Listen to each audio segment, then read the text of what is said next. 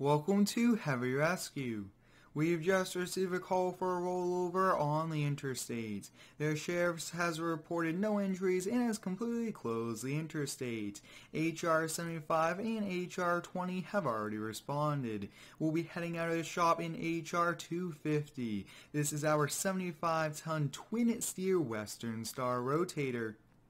The crash details include a bucket truck rolled over and a flatbed truck involved. I have requested a lowboy for transportation if needed. Since this is a big rollover, we'll be heading out in our biggest uh, tow truck we have. I'm excited to be back here with a heavy rescue series doing uh, some recovery work. If you guys would like to see more, drop a like and subscribe to the channel. Luckily, nobody was injured in today's crash. The reports are that the bucket truck was getting on the highway from the on-ramp and a flatbed truck collided, causing uh, the bucket truck to lose control, roll over, and I believe that the flatbed truck is in the guardrail from what we've been told. This Western Star rotator looks pretty sweet with the American flag on the back. It is our biggest, biggest uh, tow truck we have. It is a bit pricey, upwards of $1 million fully specced out, and we probably use it once or twice a month here. It's not our main truck. We do have a 50 ton rotator as well and I could already see the crash uh, scene here in the distance. It looks like Sheriff has completely closed down both lanes and traffic is starting to back up. It actually looks like he did put out a sign there. It is pretty cool accident ahead. That's an awesome little touch there. It looks like the low boy's already here. HR 120 is blocking the on-ramp. We got another Sheriff and then our HR uh, 75 is here as well, but let's look at this. Whoa, our first sight at it, we have a full bucket truck. It's a pretty big bucket truck that is rolled over, and it looks like the boom on the back is completely broken. We can actually see that the axles are gone on it. Look at that axle, completely broken, and that one is uh, completely broken. So this is definitely not moving, and we'll have to put it up on the low boy. Good thing I did request it. You guys can see the dump body actually separated a bit there from the frame. This is a pretty bad uh, crash and you guys can actually see it's just all twisted out of shape. And then uh, this truck here looks to be in pretty good condition. Looks like a little bit of damage to the front bumper uh, deflated tire but wow I think we'll probably recover this one first. I don't want to bring a truck in between here until uh, we get this one secured and out of the way. So let's hop in HR 75 and see if we could winch it off and then we'll just use the on-ramp as our off-ramp to get up off the highway with this wreck here.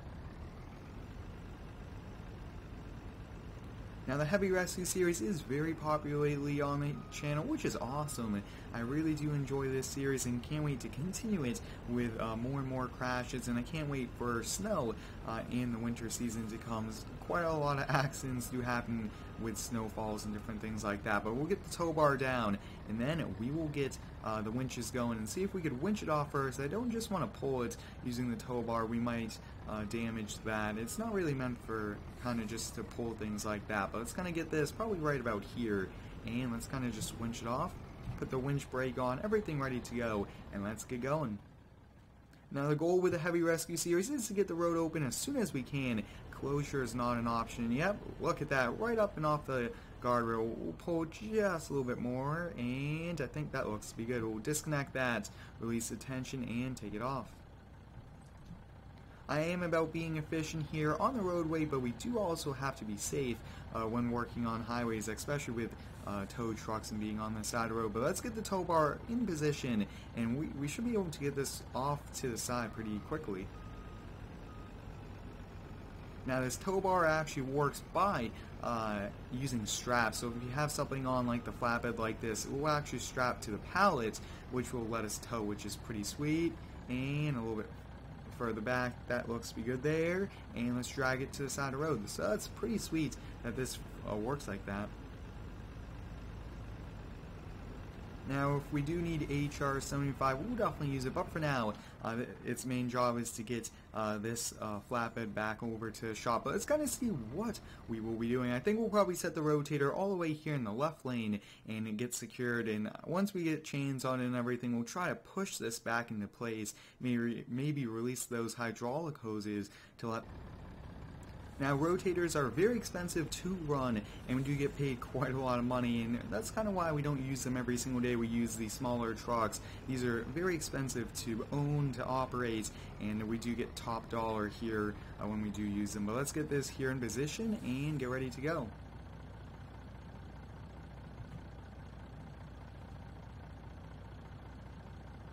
Now, because of all the damage on this uh, bucket truck, we will actually have to put it up on the low boy. So good call by having them come already, but it's going to be tricky to get it up onto the low boy, I will have to say. But it's uh, going to be a new challenge for something we've not yet had to do on a recovery. Let's get it chained up here. Let's see. Sometimes it is tricky to get the chain, and there we go. So we got it chained up. Let's see if we get it hydraulically I uh, get this uh, bucket back in place.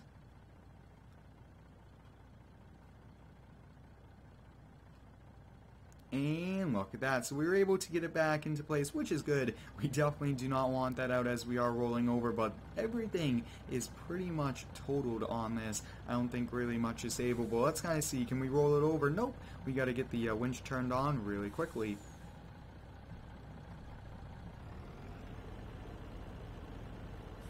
And there we go. So we got it rolled over there. Let's take a full walk around on it. Axle's completely gone. Look at that. Uh, and you guys can see this cage is actually broken as well as the uh, dump and the frame is also bent. So, so many different things.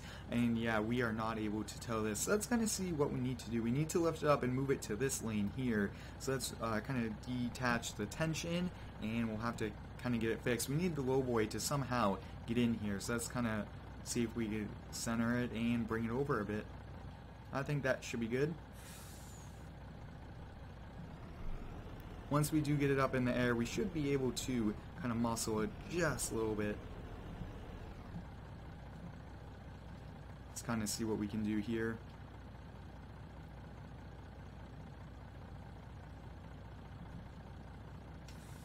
Awesome, so we got it moved over here. We should be able to get the little boy and the semi-truck through. Let's see if that will be possible. This is pretty sweet to do here in FS19. I actually have been doing heavy rescue videos all the way back uh, since FS15, so it's nice to be here in the game. So many upgrades have been coming as the games uh, get better and better, and the mods improve over the time. But this is a pretty wide low boy, which will come in handy uh, for today. But let's kind of see. Oh yeah, we'll be able to squeeze right through, and those stabilizers almost had a near collision there. But we'll pull forward just a little bit, and we should be able to get this on no problem. Now for this, I actually just want to kind of do it uh, without using the winch. We'll just, actually, we have to add tension to it again. And it might be a little tricky to do this, but we'll see how we can do it. If you do have any cool ideas for me, drop it down below. I really do enjoy using your feedback here to improve these videos and give me some great ideas. And this thing, a little unrealistic now, but you guys can see completely lifting this truck here into place. It's kind of bringing it a little bit more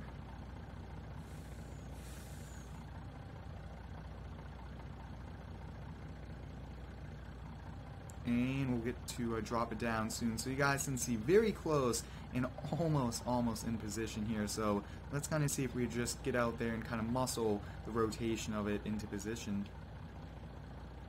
This is somewhat tricky to do, but it is uh, suspended up there, so it's not really just quite a lot of pushing we are doing. And right about there, let's detach the winch line and look at that. So we pretty much got it loaded up here. Not the best loading. And let's kind of see if we can push it just a little bit more with the winch. We now have it positioned on the low boy. The last thing we have to do is detach these winch lines and get the rotator folded back up.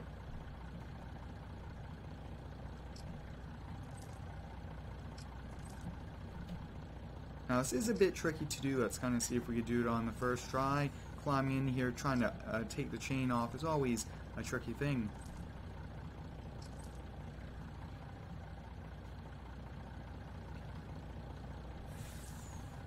Awesome, so we got the uh, winch line taken off there. Let's get the rotator folded up. But this was definitely one of our biggest uh, wrecks of the uh, season, which is pretty awesome, but at the same time, we always hope that we don't get big calls like this.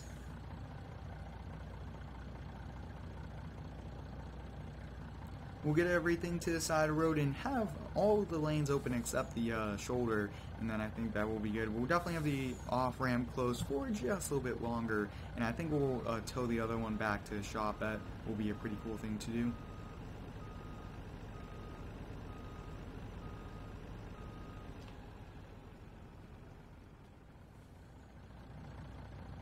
Sometimes on big crashes like these, low boys, big flatbed trailers all called in uh, to kind of help out with the removal of these vehicles. But that is pretty bad. I think we'll, the police officer will probably follow this truck back over to our shop to do some paperwork, get some information from it as well. And I think we'll uh, kind of get the road open here and then we'll head back.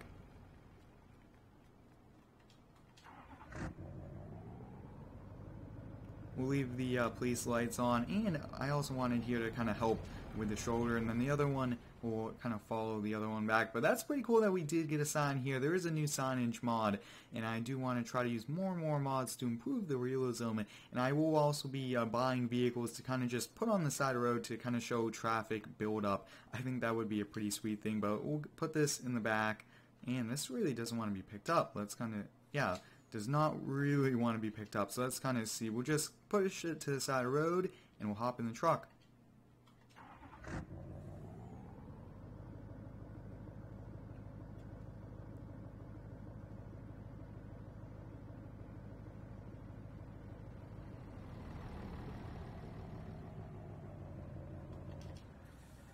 Today was a pretty busy day. Right as we got to the shop, we had a call, which is nice, and it's always uh, great to kind of uh, get these calls for the revenue of the company. But let's hop here in HR 75 and head back to the shop.